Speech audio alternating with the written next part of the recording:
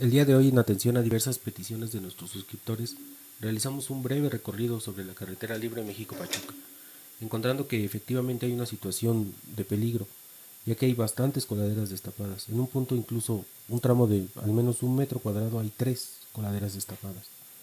Es muy peligroso circular por el área que no es el carril confinado, ya que el área que comprende lo que es la carretera está llena de hoyos y llena de coladeras.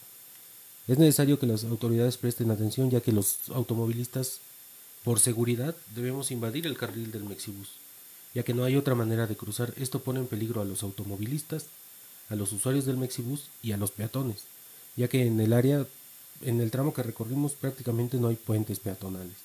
Entonces, en realidad, un llamado a las autoridades de Catepec, pónganse abusados, ahí hay una situación de riesgo que deben de tener en cuenta por la seguridad de todos los ecatepequenses y por la seguridad de los automovilistas y principalmente pues de los usuarios del Mexibus, ya que son los más afectados pues en altas horas de circulación el carril se ve inundado de autos, porque pues no hay otra manera de pasar.